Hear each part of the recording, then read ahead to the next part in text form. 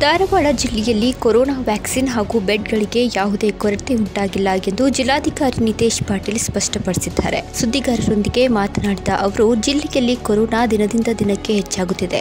ಚಿಕಿತ್ಸೆಗಾಗಿಯೇ ಹೆಚ್ಚುವರಿ ಬೆಡ್ಗಳನ್ನು ವ್ಯವಸ್ಥೆ ಮಾಡಲಾಗಿದೆ. ಖಾಸಗಿ ಆಸ್ಪತ್ರೆಗಳು ಕೂಡ ಕೊರೋನಾ ಸೋಂಕಿತರನ್ನ ದಾಖಲಿಸಿಕೊಂಡು ಚಿಕಿತ್ಸೆ ನೀಡಲು ಮುಂದಾಗಿವೆ ಎಂದರು. ಹುಬ್ಬಳ್ಳಿಯ ಕಿಮ್ಸ್ನಲ್ಲಿ ತೊಂಬತ್ತೇಳು ಜನ ಸೋಂಕಿತರು ಹಾಗೂ ಜಿಲ್ಲಾ ಆಸ್ಪತ್ರೆಯಲ್ಲಿ ಐವತ್ತು ಜನ ಸೋಂಕಿತರು ಚಿಕಿತ್ಸೆ ಪಡೆಯುತ್ತಿದ್ದಾರೆ. ಜಿಲ್ಲೆಯಲ್ಲಿ ಒಟ್ಟು ಎಂಟುನೂರ ಮೂವತ್ತೇಳು ಸಕ್ರಿಯ ಪ್ರಕರಣಗಳಿವೆ. ಕಳೆದ ಹದಿನೈದು ದಿನಗಳಲ್ಲಿ ಹದಿನೈದು ಜನ ಸೋಂಕಿನಿಂದ ಸಾವನ್ನಪ್ಪಿದ್ದಾರೆ ಎಂದು ಜಿಲ್ಲಾಧಿಕಾರಿಗಳು ತಿಳಿಸಿದರು.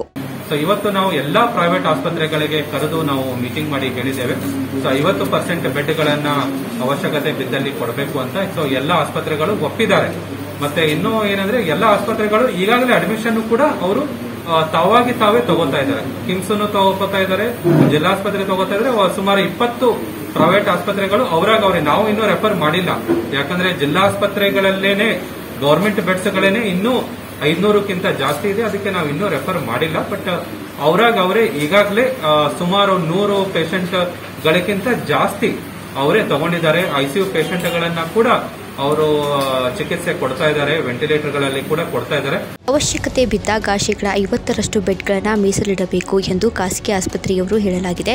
ಈಗಾಗಲೇ ಖಾಸಗಿಯವರು ಕೂಡ ಸ್ವಯಂ ಪ್ರೇರಣೆಯಿಂದ ಸೋಂಕಿತರಿಗೆ ಚಿಕಿತ್ಸೆ ನೀಡುತ್ತಿದ್ದಾರೆ. ಉತ್ತರ ಕರ್ನಾಟಕ ಭಾಗದಲ್ಲಿ ಕಿಮ್ಸ್ ಉತ್ತಮ ಚಿಕಿತ್ಸೆ ನೀಡುತ್ತಿದೆ. ಎಂಟು ಜಿಲ್ಲೆಗಳಲ್ಲಿ ಜನ ಇಲ್ಲಿಗೆ ಚಿಕಿತ್ಸೆಗಾಗಿ ಬರುತ್ತಿದ್ದಾರೆ ಎಂದರು.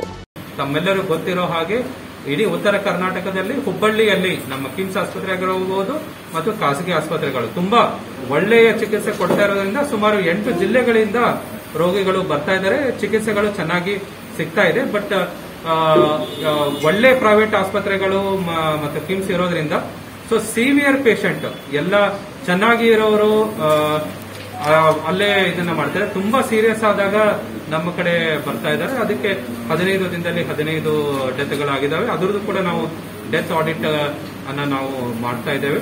ಕೋವ್ಯಾಕ್ಸಿನ್ ಹಾಗೂ ಕೋವಿಶೀಲ್ಡ್ ವ್ಯಾಕ್ಸಿನ್ ಕೊರತೆ ನಮ್ಮ ಜಿಲ್ಲೆಯಲ್ಲಿಲ್ಲ ಯಾರು ಮೊದಲು ಡೋಸ್ ಹಾಕಿಸಿಕೊಂಡಿದ್ದಾರೋ ಅವರು ಎರಡನೆಯ ಡೋಸ್ ಅನ್ನು ಹಾಕಿಸಿಕೊಳ್ಳಬೇಕು ಎಂದು ಡಿಸಿ ಮನವಿ ಮಾಡಿದರು. Big TV news Hubballi.